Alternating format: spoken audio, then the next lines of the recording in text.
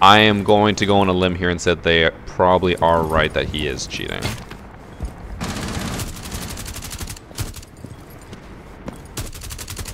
But pre-fire.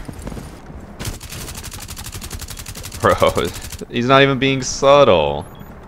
I guarantee you if I were to upload this on TikTok, there would still be at least one person in the comments who'd be like, why does Varsity just think everyone's cheating? Sometimes people are just better than him and he doesn't accept it.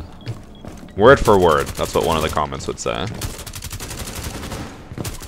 Cheater goes on to lose because, yes, I was right, they all team kill him. And they're out of team kills, so I'm curious how he dies this round.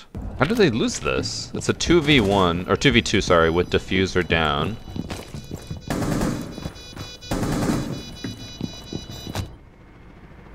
The Claymore was right in front of him.